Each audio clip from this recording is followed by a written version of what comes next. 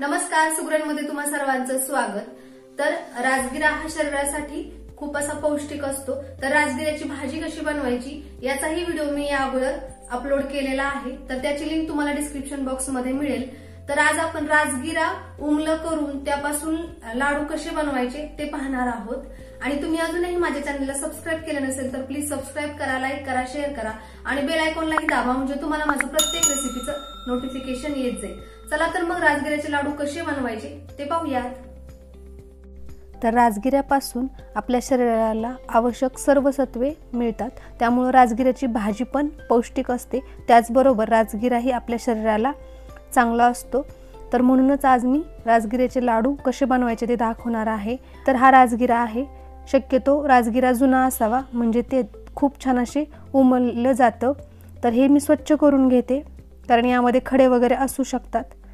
तर हा सर्व राजगिरा मी स्वच्छ करून घेतला आहे तर आता आपल्याला याचं उमलं करायचं आहे तर उमलं करण्यासाठी ह्या राजगिऱ्यामध्ये थोडंसं कोमट पाणी टाकूयात. तर ही प्रक्रिया जी आहे त्याला उमलं करणं असं म्हणतात. तर हे मिक्स करून घेते. यामध्ये जर काही खडे राहिले असतील तर ते आपण रोळून काढूयात. म्हणजे नंतर ज्यावेळेस आपण याचे लाडू करू त्यावेळेस त्यामध्ये कचकच लागणार नाही. तर पूर्णाच्या चाळणीवर मी सुती कापड ठेवले. कारण राजगिरा चाळणीमधून खाली जाईल त्यामुळं मी यावरती असा सुती कपडा टाकून घेतला आहे यामध्ये हा राजगिरा टाकून घेते. आणखीन थोडंसं पाणी घेऊन हे रोळून काढूयात. कारण यामध्ये जे खडे आपल्याला दिसत नाहीत ते खाली तळाला राहतात. तर ते अशा पद्धतीनं रोळून काढायचे. कोमट पाणी टाकलं. की याला उमलं करणं असं म्हणतात. तर मी सर्व रोळून काढलेलं आहे. तर तुम्ही बघू शकता खाली थोडेसे लहान खडे आहेत. तर आता यातील पाणी आपल्याला सगळं नितळून काढायचे हे धुवूनच घेतले असं म्हटलं तरी चालेल. तर ही पद्धत जी आहे उमलं करणे तर ती खेड्यामध्ये केली जाते. यामुळं छान असं उमलले जातात. जे राजगिराचे दाणे आहेत ते. तर यामधलं पाणी सगळं आता काढून घेते मी.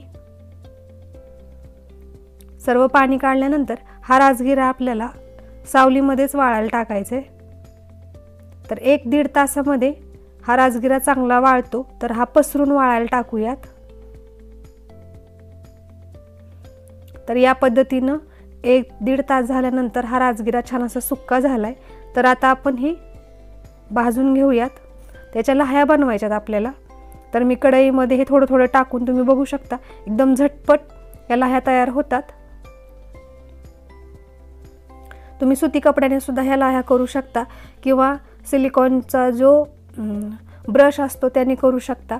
परंतु कपड्याने खूप छान होतात.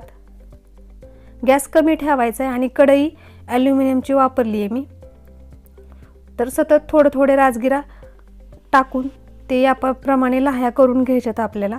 कधी कधी मा तुम्ही मार्केटमधून डायरेक्ट अशा लाह्या मिळतात त्या पण विकत आणू शकता.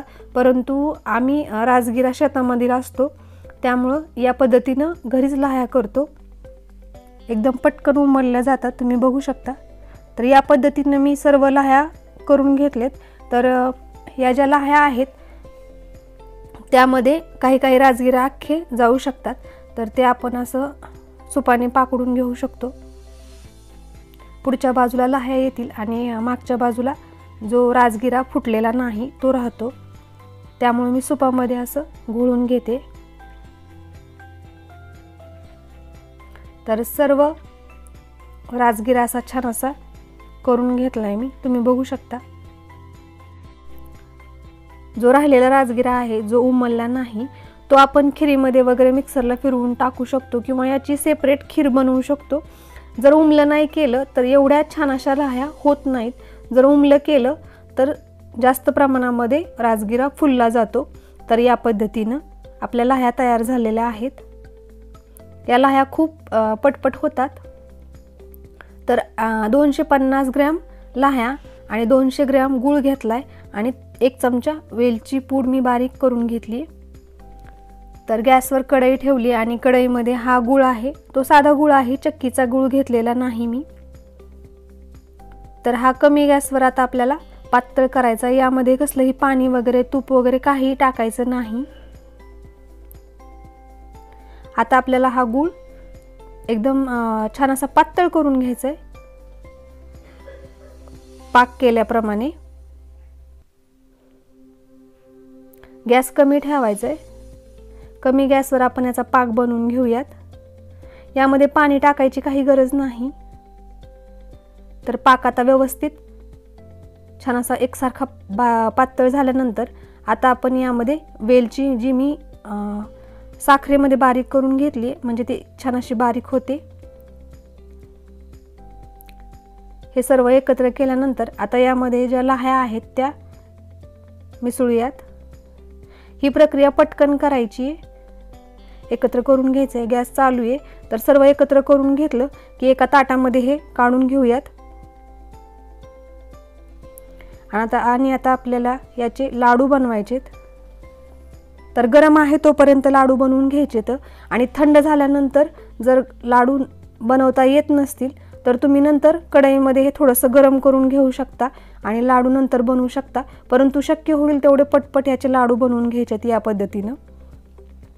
थोडासा पाण्याचा हात घेतला तरी सुद्धा चालतो म्हणजे हे पोळत नाही हाताला. परंतु मी पाण्याचा हात न घेता बांधते. एकदम सहज असे हे लाडू बनले जातात तुम्ही बघू शकता. एकदम विकतच्या सारखा कलर आणि दिसायला झालेले आहेत आपले हे राजगिऱ्याचे लाडू. तर थंडी चालू आहे. त्यामुळं राजगिरा चांगला असतो शरीराला. त्यासाठी हे मी लाडू बनवते.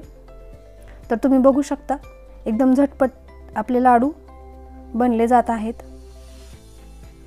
तर राजगिऱ्यामध्ये विटॅमिन सी मोठ्या प्रमाणात असतं. त्यामुळं काही लोक हे खूप आवडीने खातात. तर या पद्धतीनं आपले राजगिऱ्याचे घरी बनवलेले उमलं करून तयार झालेले. तर तुम्ही पण राजगिरा जर बाजारामधून आणला तर याप्रमाणे उमलं करून त्याचे लाडू बनवा. आणि कमेंटमध्ये सांगायला विसरू नका की तुम्हाला माझी ही रेसिपी कशी वाटली? परत भेटूयात एका नव्या व्हिडिओसोबत तोपर्यंत माझ्यासोबत असेच नवनवीन पदार्थ बनवत राहा.